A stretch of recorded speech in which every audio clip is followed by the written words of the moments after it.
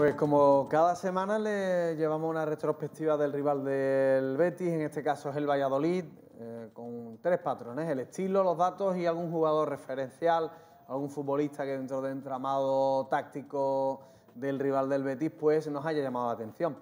Un Valladolid que empata 1-1 en la primera jornada ante la Real Sociedad con un sistema que es exactamente el mismo, incluso con los mismos futbolistas, basado en el 1-4-2-3-1.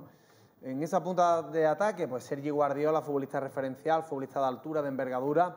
que compite eh, desde el inicio de cada encuentro. Un Valladolid que con un 40% prácticamente de posesión tuvo menos el balón que la Real Sociedad, pero que yéndonos a la estadística ya podemos comprobar que fue un partido muy, muy parejo, un partido en el que la idea del míster rival de Sergio, que siempre estudia muchísimo a los rivales, se basó sobre todo en intentar desde atrás pues hilvanar esa jugada, ese fútbol creativo, atacando, ahí vemos un poquito más de posesión en el inicio de la misma por la parte izquierda, lo que pasa es que hoy el guardameta no está, hoy juega Roberto y seguro que ahí vamos a ver un cambio. Un Valladolid que a la hora de proyectarse en ataque es por banda derecha con un 40%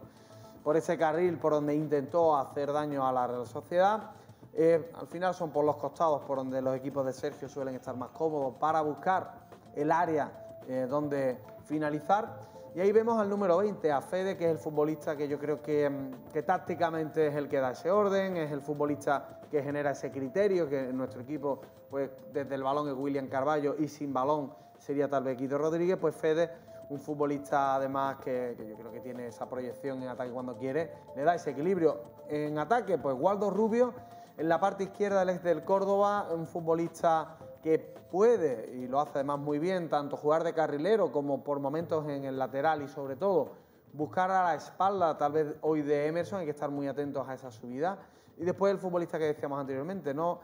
Eh, Fede, que ahí en el centro del campo, ahí lo, lo, se ve perfectamente en la parte derecha, ¿no? Cómo es en esa franja media donde va de izquierda a derecha, con mucho criterio, tácticamente muy ordenado y que le permite al Valladolid pues, competir en todos los encuentros. Diferencias con respecto a, a, las dos maneras de jugar. El último dato, el Betis 428 pases por 262 del Valladolid. El Betis que dado eh, el nivel de la plantilla que tiene, ese centro del campo, esa línea de tres medias puntas Isidro, me parece que es desde el balón desde donde va a sentirse cómodo tanto para defender como para atacar. Así juega.